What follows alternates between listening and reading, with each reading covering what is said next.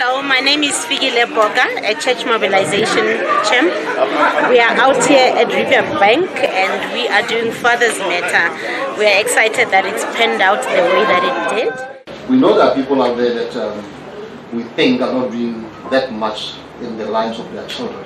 But you need to look at the positive things. You need to, if you look into those and you ensure that you instill those kind of mentality in people's day-to-day activities, then it will come, it will turn the situation around. Right. So uh, 50% of us here haven't, uh, have positive people that we've seen raising children and children that are not their own. Yeah. So we've taken that to heart and we're learning from them as well. Oh, that's good. Yeah, so that's one thing. Those are the active people. These are neighbors or friends. the idea is is be there you know uh, let's not use money as an excuse let's not use Sure. shows that we see let's not use our partners as excuses Sure. um, be there uh, uh, kids just want love How do we make our children feel loved? How do we make them feel safe and cared for? What do we say to them every day that's going to build those relationships?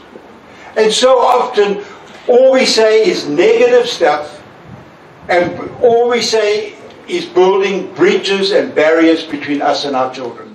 Today I've learned values on how to be able to engage and uh, be in touch with uh, my kids. Today's workshop, I mean, reminded me of the, the role that we fathers play in um, the, lives of our children and how important it is.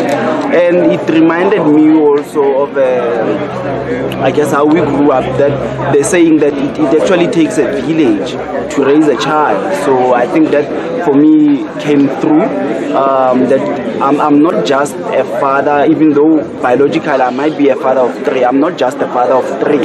You know, there are especially young boys out there that also do need fathers, and we need to take that upon ourselves to also be fathers to them.